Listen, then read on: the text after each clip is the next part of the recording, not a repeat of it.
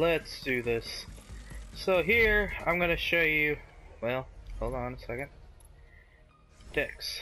Here, I'm gonna show you this build I've got for Countess. Um, this is the one I use in every match, mostly, except I got Countess Your Blessing, or Count This Bitch and Countess. Uh, this one is a little bit differently um, than this one. This one is more built tank-like than this one.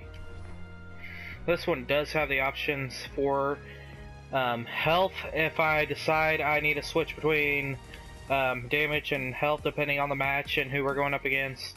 Um, I can cancel out of damage and to go to health. Um, this one is straight up health, so I get 100 health and then 150, 150, 150. Uh, just in case we have run into issues. But I also have uh, my first uh, upgrade that I get when I float in the game is the Stalker Siphon. Um, just for the jungling purposes for Countess. Um, what this does is it uh, just allows me to stay in the jungle longer, killing minions and uh, getting points up faster. After I get uh, this whole thing loaded out um, with the two here, and they just cost two points, and then the three here with the 7.5 um, life steal. Um, after I use those, uh, um, I go directly to either my Adamant Edge or Whirling Wand. Uh, Whirling Wands, why I do uh, those is because they do damage upgrades plus attack speed. Attack speed with Countess with life steal and damage is just completely nuts. Um, I mean, it's just destructive. Because if you can sit there and hit um, an enemy player with the attack speed, life steal, and damage, you will take them out quicker than they can take you out. Usually, most of the time, not all the time. You won't always do that, um, but most of the time, it really comes in handy with all those different factors into it. Um, I also put these in here just in case any of these. Uh, the Vampiric Elixir, um, Health Token, and the Fiend Elixir. I also uh, start off my build with the Warlord. Um, whenever the war Prime is activated, um, I get 60 power um, plus 100% damage bonus to the minions. 100% damage uh, versus minions versus or damage versus minions minions. Um, so if the minions are attacking each other, mine will win over the other enemies. Um, so this one is what I use. Um, I don't for only uh, one time you should use like uh, health bonus.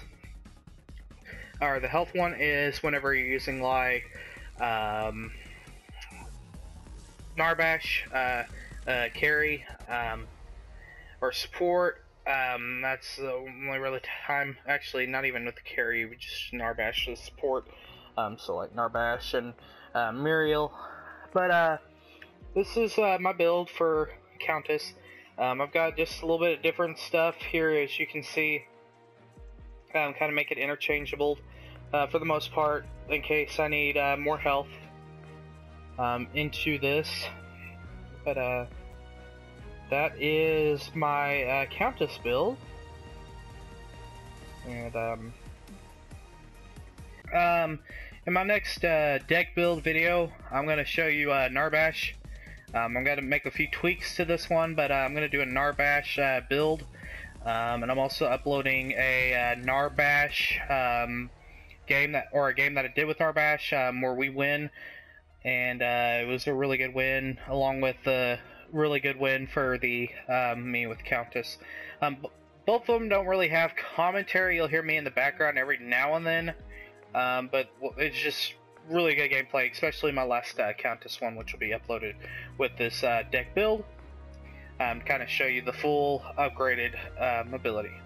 Anyways, uh, this is Aaron um, signing out. Um, be sure to like us, um, share it, um, and also to follow us on the Adelphos. again, this is Aaron, and we'll talk to you later.